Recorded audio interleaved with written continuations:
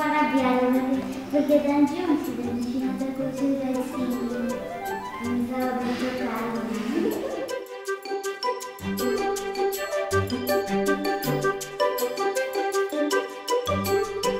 Sembrava